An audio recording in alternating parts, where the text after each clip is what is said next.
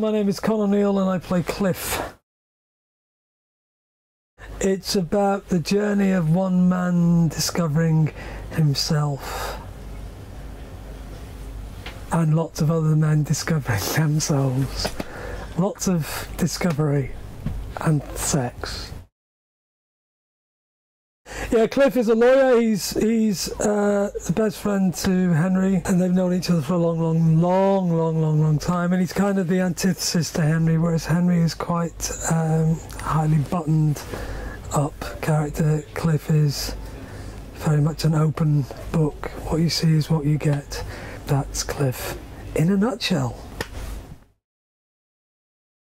From my own perspective, I I feel that Queer as Folk changed the world in many ways and mainly for the good. So when this came up, I, I just wanted to be involved in that because I think Russell's a phenomenal talent.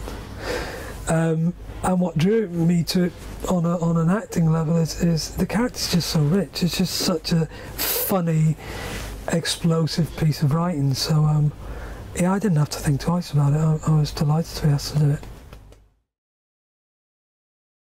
Cliff, uh, mm, he's more of a support to a journey. I don't think Cliff starts and ends with anything particularly new happening to him. I mean, I think he's explored most of the things he wants to explore. I think he's his journey in this is to follow Henry's journey. Really, he's very excited that Henry's going on this journey. He's been egging Henry to go on this journey for a long, long, long, long time. So he's just delighted that Henry's gone on it. And so he's there to support Henry, really. That's his main job. And to sleep with as many people as he possibly can. But his main job as a character is to support Henry. Which is nice, you know.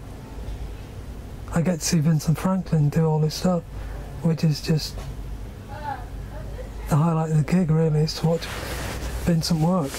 He's extraordinary.